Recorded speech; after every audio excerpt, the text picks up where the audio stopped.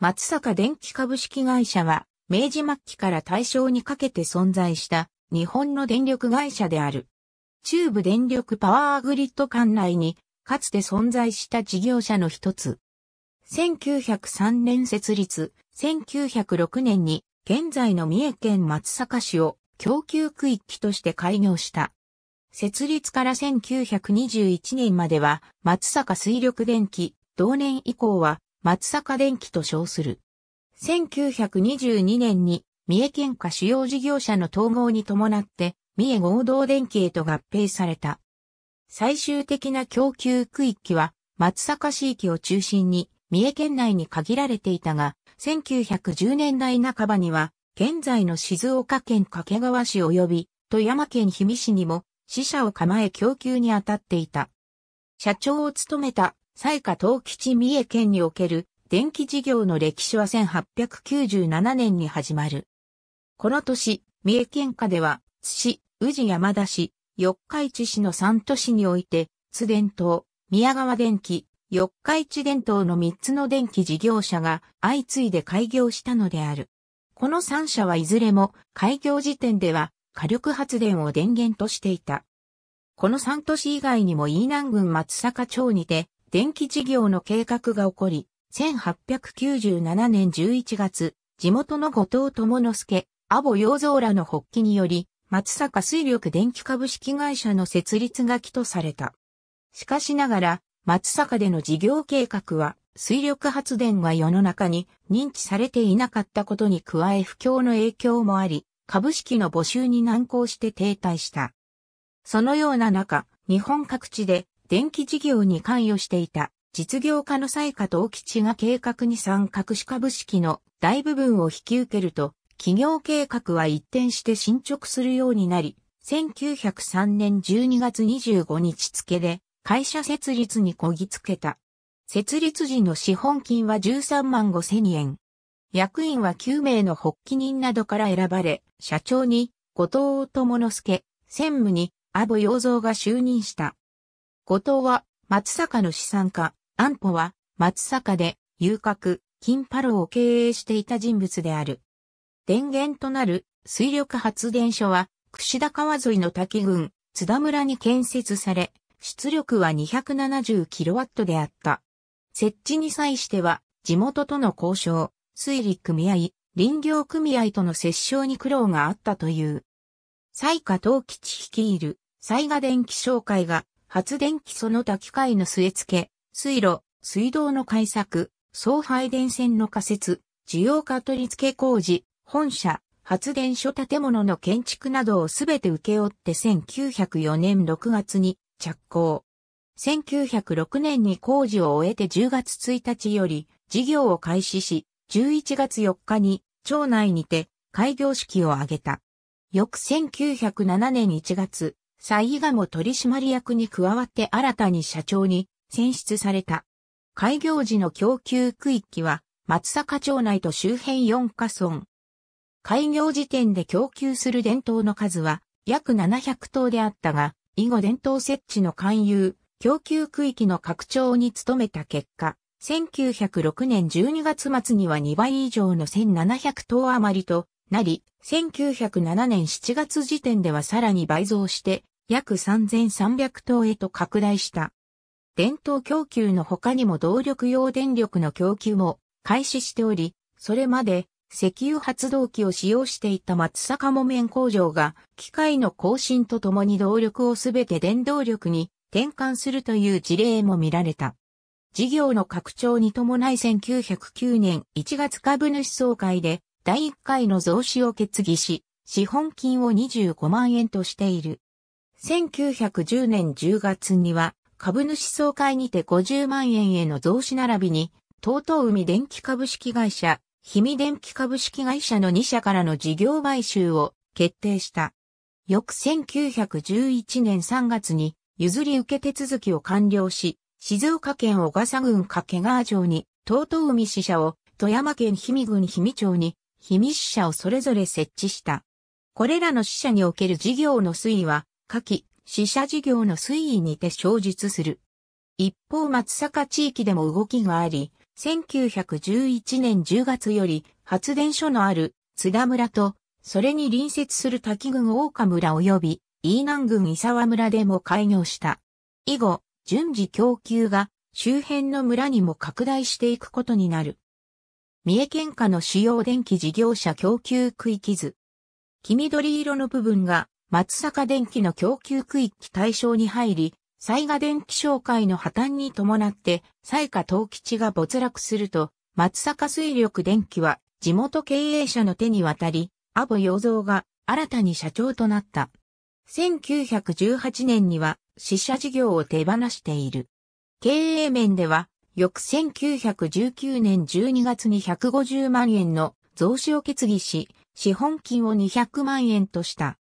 開業以来、松坂区域の発電所は、桑形発電所のみであったが、供給区域の拡大とともに供給安定化のため1914年飯南郡、花岡村に振動発電所を新設した。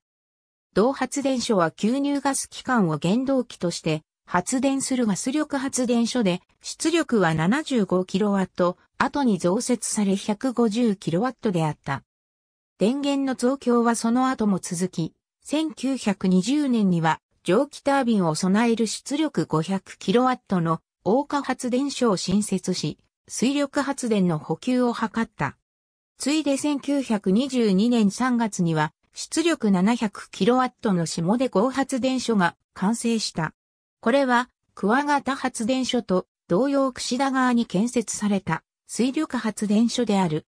供給区域も随時拡大され、1919年11月には、宇治山田市に近い渡来郡、田丸町でも開業し、宮川沿いの山間部では1921年8月に滝原村まで配電範囲が到達した。上記のように火力発電設備が増加したため、1921年6月21日の株主総会にて、社名から水力を外して松坂電気株式会社と解消した。また、同年内に松坂町内のお城井町363番地に鉄筋コンクリート造り2階建ての新社屋が完成している。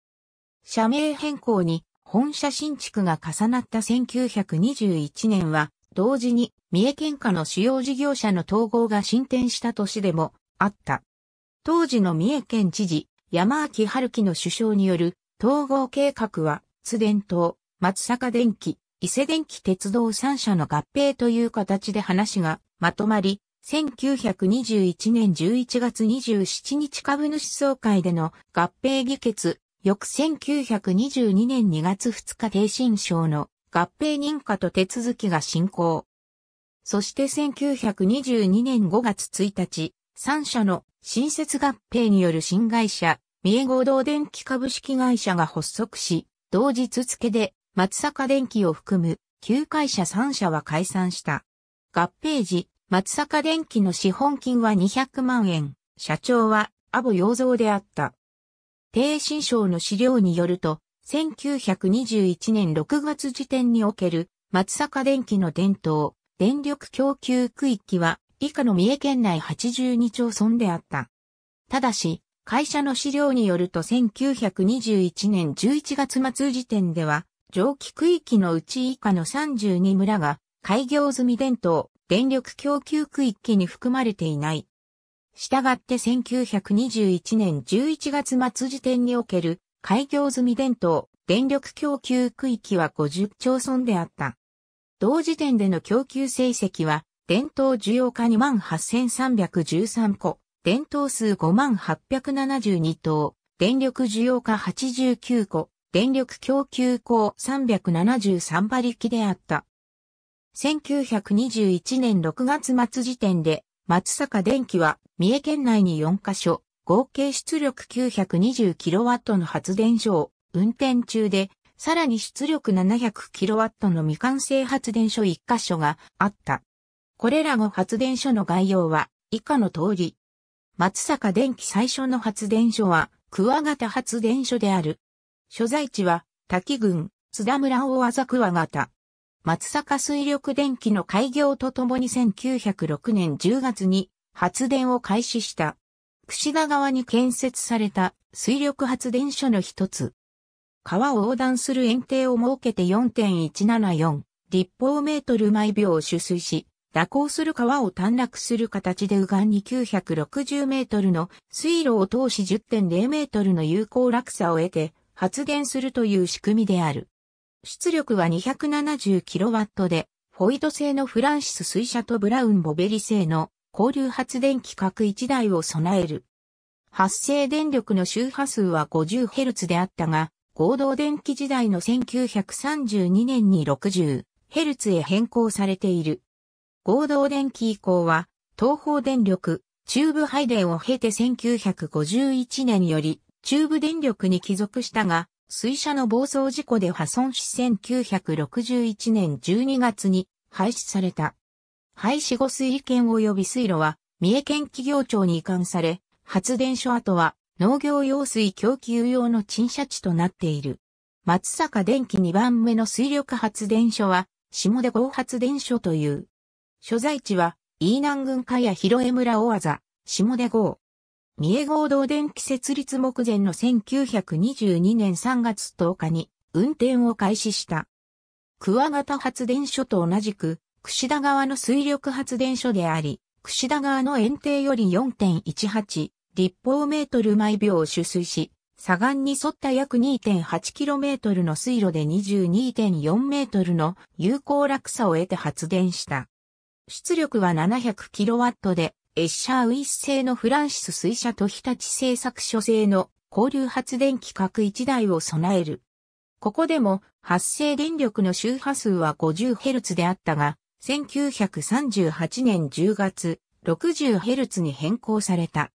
合同電気以降は、東方電力、中部配電を経て1951年より、中部電力の所属となっている。大化発電所は、串田川沿いの滝郡滝町町町に建設された火力発電所である。下出号発電所建設期間中における需要増加に対応するとともに、同発電所完成後には、活水樹補給用に充てる目的から建設され、1920年10月に運転を開始した。ボイラーは、バブコックウィルコックス製。エッシャーウィス製のツリー式蒸気タービンと、日立製作所製の交流発電機各1台を備え、出力は 500kW であった。発生電力の周波数は他と同様の 50Hz。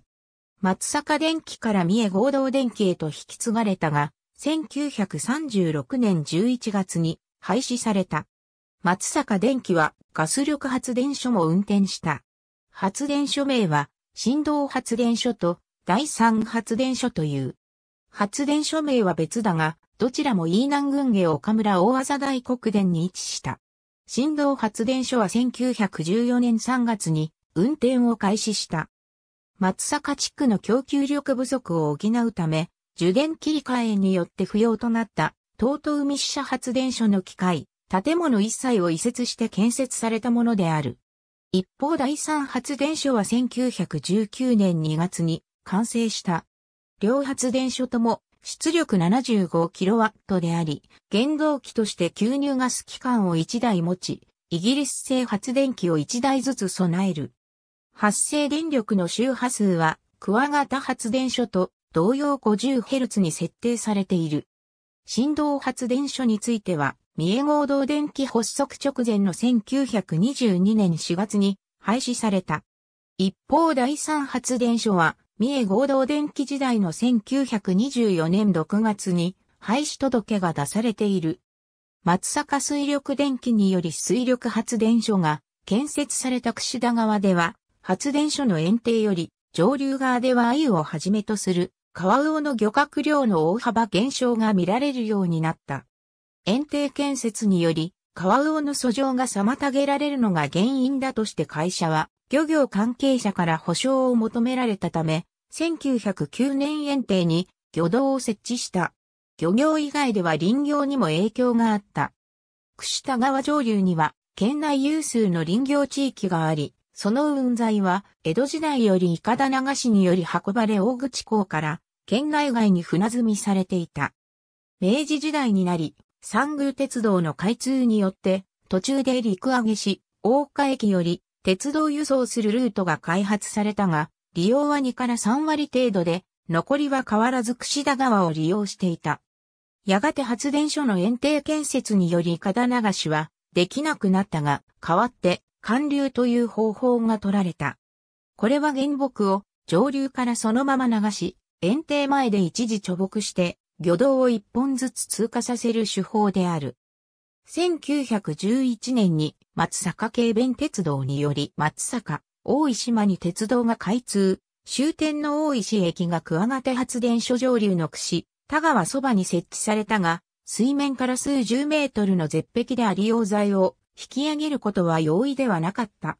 鉄道輸送が増加するようになったのは、昭和の初めになり、クレーンが設置されて以降である。前述のように、松坂水力電機は1911年3月に、東東海電機、氷見電機の2社から事業を買収し、静岡県に東東海支社を、富山県に氷見支社をそれぞれ設置していた。このうち、東東海電機は、西下東吉が中心となって、静岡県内から融資を募り、1910年6月に認可を得て起業した会社である。設立は同年10月23日付。本社は静岡県小笠郡掛川町掛川で、資本金は10万円。災害や野田義一郎らが取締役を務める。吸入ガス機関による発電所を電源として、掛川町その他に2000棟の電灯を供給する予定であったが、開業を前に松坂水力電気等東海支社に事業計画が引き継がれた。低新省の資料によると、東東海支社は1911年6月28日に開業した。同年7月には開業式が挙行されている。電源として出力 75kW のガス力発電所が建設されたが、翌1912年7月、大井川に水力発電所を建設した日英水電が掛川を通って浜松へと送電線を建設するのに伴い、同社から電力供給を受ける契約を締結した。充電は1913年11月1日より開始。充電転換によるコスト低下によって電気料金引き下げが可能となり、この地域での電灯普及につながった。1918年8月5日、松坂水力電気は、氷見支社に続き、東東密社の事業を27万5千円にて、日本電力という事業者へと譲渡すると決議し、11月に事業を譲渡した。東東海支社の事業は1920年10月に、さらに東東海電機の手に渡っている。この二代目東東海電機は、静岡市郊外、安倍郡大里村に本社を置く会社で、静岡電力専務の熊沢和恵が社長を務める。翌1921年8月、東東海電機は、その静岡電力へと合併された。供給区域1918年8月時点における松坂水力電気東東海支社の伝統、電力供給区域は以下の通り、すべて静岡県内である。蒸気区域における1918年5月末時点での供給成績は、電灯8401灯、動力用、電力60.5馬力であった。電灯需要や数は4257灯で、うち3分の1が掛川町内に集まる。松坂水力電機に統合されたもう一つの事業者である氷見電機は1910年5月に事業許可を取得し、同年11月18日に設立された。本社は富山県氷見郡氷見町大技港町で資本金は5万円。地元氷見の人間は役員にはおらず、西下東吉、野田義一郎、阿保洋蔵らが取締役を務める。東都海電機と同様、開業を前に事業権が松坂水力電機へと買収された後、松坂水力電機氷見支社として、翌1911年7月1日に開業した。氷見支社の電源もガス力発電所で、その出力は 75kW であった。供給区域は開業時点では氷見町内に限られたが、順次周辺三村にも拡大されている。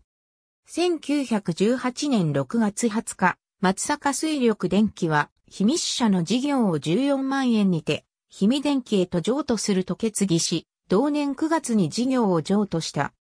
同社は、広瀬静幸ら地元の出資によって起業された会社で、同年7月28日、資本金20万円で、秘密町朝日に設立。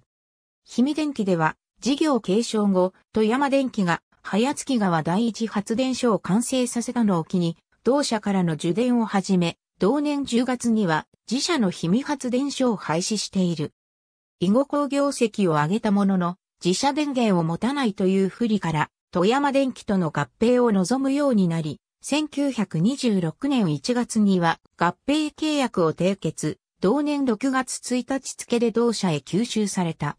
供給区域1918年8月時点における松坂水力電気秘密社の伝統、電力供給区域は以下の通り、すべて富山県内である。ただし1918年5月末時点で伝統供給済みの地域は稲積村までの5町村に限られる。同時点での供給実績は伝統4119棟であった。需要や数は2494個で、うち8割近くが、姫町内に集中する。中部電力松坂営業所となった後、営業所移転に伴い、松坂医師会館に転用されている。ありがとうございます。